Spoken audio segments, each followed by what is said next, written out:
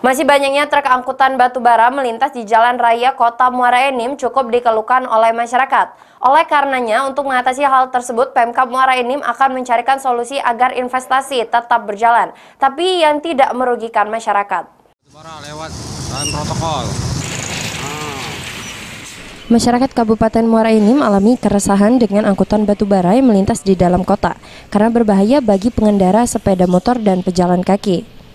Atas hal tersebut, PJ Bupati Muara Enim akan melakukan rapat kajian bersama Dinas Perhubungan dan Dinas terkait untuk mencarikan solusi agar keresahan masyarakat bisa diatasi.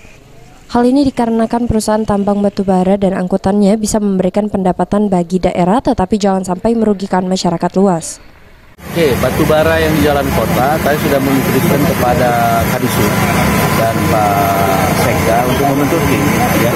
Karena memang e, batu bara ini memang ada crossing jalan sebelum mereka masuk ke dalam jalur batu baranya seperti Serpo, Kintan itu pasti harus melewati jalan e, baik nasional, kabupaten maupun jalur provinsi. Ini ya yang menjadi kendala kita. Jadi e, investasi ataupun mereka bisa beraktivitas tapi tidak merugikan masyarakat. Jadi kita harus duduk bersama-sama e, menyikapi ini. Kalau memang ini dilarang, berarti kan ada, ada solusinya. Karena memang e, tambang ini juga harus beraktivitas.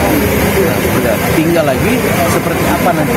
Apakah dia diizinkan selama satu bulan atau enam bulan atau satu tahun sebelum si e, perusahaan ini membuat jalan khusus. Untuk mengatasi konvoi dan parkir sembarangan oleh truk angkutan batubara, Dinas Perhubungan Muara Enim melakukan peringatan bahkan tindakan tilang bagi supir truk batubara yang membandel.